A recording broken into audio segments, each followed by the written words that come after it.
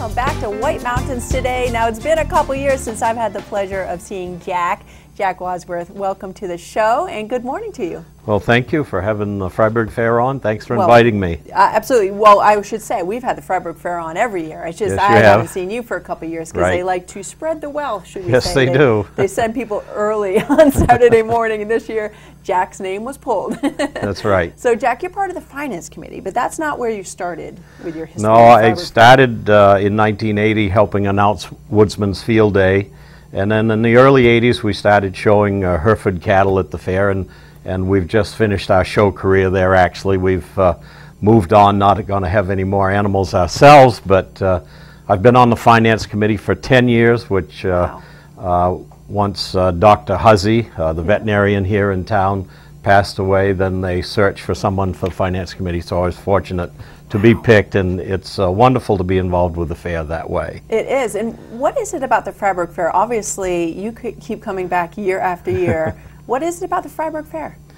Well, it's a pretty amazing place. We've uh, this is our 166th Fryeburg Fair, so we've been practicing for 165 years to do it right.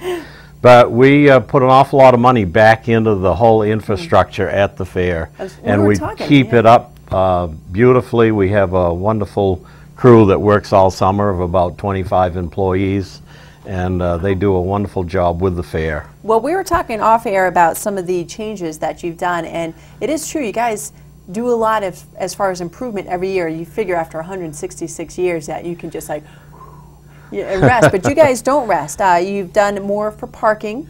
Uh, we have done earlier. yes we uh, last year we purchased 10 acres next to the fair and we've turned that into uh, exhibitor livestock parking Mm-hmm. and also all those cattle trailers that bring all the cattle the horses and sheep and pigs to the fair we've made a new place to put those so it's allowed us to have more parking on the fairgrounds for our actual cars Right, for the exhibitors. And then also for the guests, you've made a new restroom towards the first gate. We did. We've uh, built a state-of-the-art restroom, if it can be called state-of-the-art, but uh, like, but it has entail? mothers' lounges, uh, and uh, it's a huge restroom. It's the first restroom you run into as you come towards the fair from Right. Fryeburg, and people are have been traveling for hours, and that's the first thing they want. So as soon as you pay through the gate, you can run to the bathroom. there you go. And then for the animals, also, you had been mentioning that the draft horses, when they go and get, I forget the term for it, when they get all buckled in,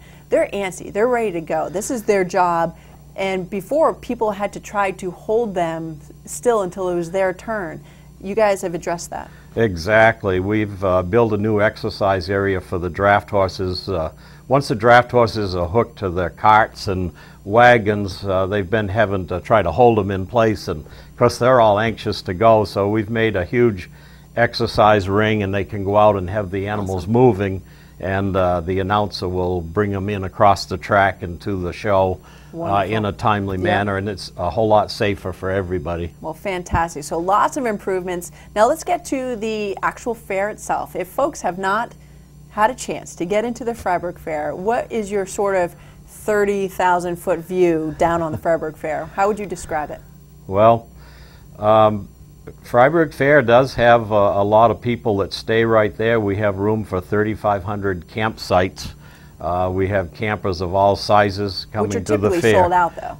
Like those, uh, it- we may have a few spots left Yeah. in those People drop 3,500 out, sites, yeah. but people start reserving those sites from May 15th on. They can Right. call the fair. Uh, come to the fair early by 7 or 8 o'clock in the morning if you can, because it's on Route 5 uh, on the way from Fryeburg to Lovell. So uh, traffic can get backed up, especially on a three-day weekend like we have coming up in a week from now. Um, the fair is very popular. There is so much to see. Right. We're keeping the fair very heavy to agriculture. We Which have close to Yeah. 4,000 animals if you count all the admit, chickens, ducks, and That everything. That is my focus. I Yeah. bring my boys over, and that's what we go and look at. Right. You know, I love that. But it's uh, the animals. How many? Oh, it's close to you say? 4,000 if you count everything. But we have about 450 registered beef cattle that will be showing Tuesday, Wednesday, Thursday. They're there all week from Sunday to Sunday. Uh, we also have 450 registered dairy cattle that are there the whole week, and a uh, swine barn, Yeah, uh, oxen barn. as well. Uh, Yes, there's it you know is. chickens hatching from eggs and all the cool stuff that can inspire some folks. You have 4-H is uh, heavily involved as well. It is. Um, 4-H will be doing a lot of their shows a week from today and tomorrow. Um, we have uh, 53 uh, market steers that the children will be bringing in, and they use that income to help the, uh, their way through college as well as uh, look at sheep. Yeah. And uh, people raise lambs, and there's um, competition for lambs for the 4-H competition for pigs and for uh, market steers, heifers, you name it. There's a lot of lot of young people get a good start That is with fantastic. animals. There's a lot of great programs in the area for that. And depending on the town, they have different focuses, correct? Like some 4-H's have an animal component, some have more of a craft component. Um, so you can check with your local town if you're interested in the 4-H. That is Or correct. come to the Fryeburg Fair because you can talk, which is, I always thought, a great time at the Fryeburg Fair is getting to meet the folks that really devote their lives to what they're doing, uh, whether it's animals or craft. That's right. You can. Uh, there's livestock offices around, or the 4-H office, a huge building for 4-H, and there's a lot of gals in there that can help you out and give you information about who is running different clubs around the state. Okay, and let's get to some days and events. We have Woodsman's Day Woods- coming up, which is typically on Monday. It is Monday, yes. This is our 49th Woodsman's Day, so another year we're going to celebrate 50 years of Woodsman's Field Days. Uh, this is a large draw for a Monday. Um, like I mentioned, it's been going on 50 years. We have 141 competitors on the track to do either axe throwing, crosscut saw, or uh, standing block chop. There's just so much to see, and we have uh, tree felling, and then we have events on the springboard chop where the guys That's so stand cool, yeah. nine feet in the air and have to chop off a 10-inch round uh, block on the top of that, and that can be done in like 38 seconds. That is crazy. They must practice. I know there's a, is a skillet toss on Monday, or is that later in Skillet the toss is Monday, on and, Monday. and now we've added something for the men to do. They're having uh, anvil toss. The anvil weighs 18 pounds and three quarters. The skillet weighs four and a half pounds. Yeah. So uh, Wow. anybody can throw the skillet. Uh, accuracy is important. Well, I was just going to say there's skill involved though. a little bit. I mean, you can throw it straight up if you don't let go soon enough. So that's I'm sure that's happened. my wife. I'm sure she loves that you told everyone. That's She's right. Like my crowning moment. Boink. Um, but there are some people that have super skill. There's technique. They practice, and do they win a prize? I mean, what's the, or is it just bragging rights? Uh, yeah, pretty much bragging Yeah. rights and a trophy. Oh, sure.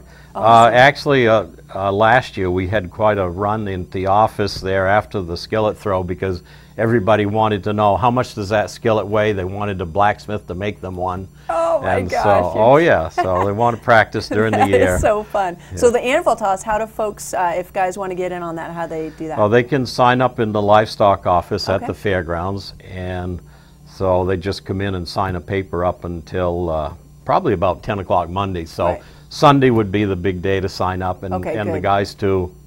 Get ahead of it. Yeah, we're watching video of it now. So that's Monday, Woodsman's Day. Lots going on. It's an incredibly busy day at the fair. It is. A lot of fun. Uh, tell me about a couple events throughout the week that you, in particular, are looking forward to. Well, tomorrow is uh, locally. It's very important. It's the fireman's muster, and there's a lot Ah, of yeah. competition between all the fire departments in uh, quite a wide area around here.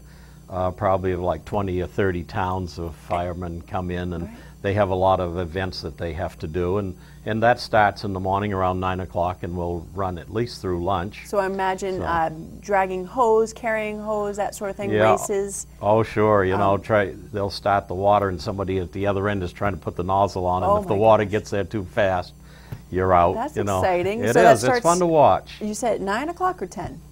I- or around- nine well- should start at nine tomorrow At morning. nine tomorrow, okay. Yes. So we'll have to look at the website too to confirm that. Um, Yes. But as you, you brought a huge list, um, and some of it is displayed on the screen, but so much to do and so many varieties of activities. And this is, I think we've mo- mostly listed the agricultural side of things, the music side of things, the craft side of things. But if you like the straight fair experience as far as you guys have a midway with rides, Huge. with the food, French fries, blooming onions, the f- We fried do. dough. Um, We have a whole food pavilion building that we built several years ago, and that's for local artisans. Uh, you can buy moxie jelly or maple syrup. You can buy anything in that building, So and it's built. So it's made locally here, and uh, that's been a great addition to the fair. And of course, all the crafts we have, people uh, have been gearing up for All year. Uh, I know there's a quilt. paws only. They've Yeah. been baking dog treats That's for right. a week. And uh, the, we have a quilt lady there in the uh, Arts and Crafts Center, and, and she gets her orders for the whole next year, and she sells um, a lot of uh, quilts right there, and she's become very popular. I'll have to Uh, she's been out. there for like 25 years, and Wow. has, she's become a mainstay And do you for a lot of people. business name so folks can? Do you remember? I'm sorry, I can't. Oh, that's all right. We might circle back and might come to you. But I also wanted to point out there's really cool stuff too. If you're looking to furnish your house, I've seen like a rough hewn furniture that is gorgeous uh, that you can order for your home. There's of course, you know, the art, the paintings, uh, the craft work, pies. You I know, don't a know lot why I of keep going people- back to food, but the pies. Right. mm. Well, a lot of people actually come to the fair and they start their Christmas shopping at the fair because there is so many things like knickknacks for Yeah. snowmobiles And or stuff you're anything that you're find, yeah. Anything that you're involved with uh, that you like as a hobby. You'll find something there to your liking, and there's other things that uh, for the home, like you mentioned, furniture or whatever. Yeah. Uh, you know, the commercial. geothermal stuff. They do. We, ha- and we have Energy Row now, and that's been going and building for several years. We have guys there with, uh, you know, energy, Right. uh, new, So- new right. stoves and they have or the whatever. information if you want to get hands-on with it too. Yeah. Some some of this technology you can look online. It's just not the same as talking to someone and actually answer or asking the questions that you want about a particular technology like a solar panel or you know geothermal or the stoves as you mentioned. Um, That's So it's a good resource. And we have a, a huge museum there that's run by Ed and Diane Jones from Fryeburg. They've been running that department for years. They have around 50 people that are doing demonstrations at that place. We also have History Hall, which uh, it shows the history of the fair and everyone that's been involved and been important to the building of the fair for the last 166 years. All right. So I have. I'm going to put you on the spot here, Jack. If they have one thing, one thing that they you would recommend, and this could be a personal favorite, what would it be? Oh, like? of course. Well, What do you look forward? Woodsman's Field Day would Yeah, be okay. a lot of fun for me, where I'm Good. a consulting forester. Yeah, But um, you know, just walking around the fair, if you go through the cattle barns, you'll see that a lot of people have made great exhibits. Their, their exhibits are supposed to be educational. Mm-hmm. And uh, just today, driving out of the fairgrounds, I noticed that uh, one of the cattle exhibitors by his trailer, he's just done a wonderful job with a fall scene with Oh. hay bales and everything. So there's a lot to see everywhere. Wonderful. Well, Yeah. Jack, it's always a pleasure uh, to see you. Thank you so much for joining us. and uh, folks, if you want more information, it's Fryeburg Fair. Is it dot .com? Dot org. Dot .org, excuse me. So Yes. FryeburgFair.org is a place where you can get the full lineup, the full history, 166 years worth. Well, Jack, thank you again. Thank you very much. Yes, Appreciate it was it. always great to see you. All right, folks, we'll be back. And don't forget, Fryeburg Fair starts tomorrow. If you want to go, go early, stay all day. And you can get multi day passes. You can get pass for the week or a Yes. day pass as well. So, whatever you can uh, get through. And is Fryeburg all school? Are they all off all week, or is it just for Woodsman's Day?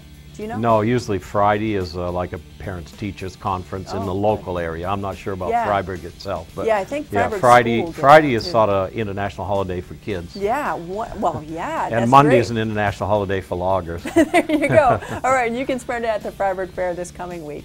All right, we'll be back. We have more information about the fair, of course, and we're going to take another look at the weather forecast, so don't go away.